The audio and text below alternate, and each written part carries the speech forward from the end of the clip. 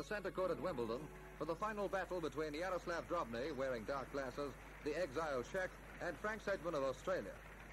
And Drobny, nearest the camera, opens the match.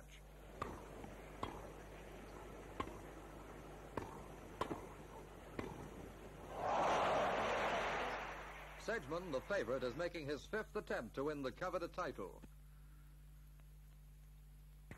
In the royal box, the Duchess of Kent watches the vivid contrast of styles. Drobny is at the far end.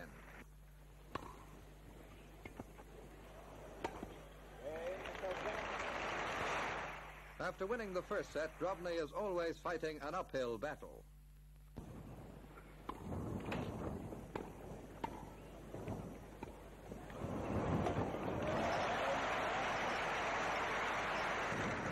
Match point, Sedgman serving at the far end. He wins game, set, and match.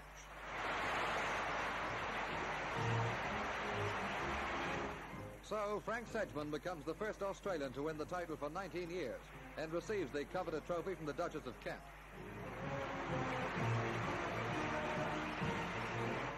While a gallant loser, Jaroslav Drobny receives his second runner-up medal.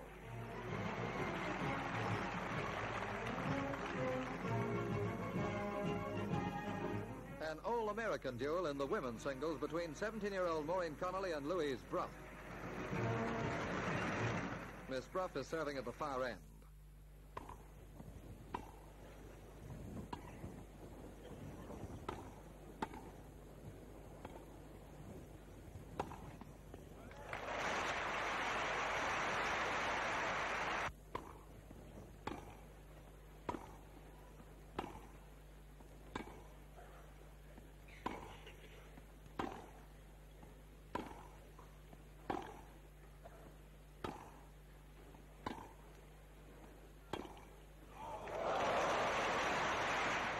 It's a great battle between youth and experience. Maureen making her first Wimbledon appearance, Miss Brough three times past champion.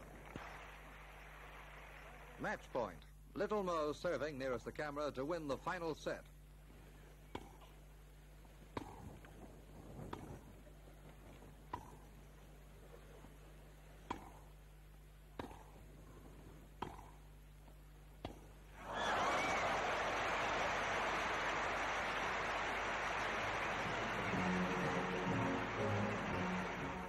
Bittersweet moment for Little Mo in having beaten her doubles partner to capture the Wimbledon crown, the youngest winner for over 60 years.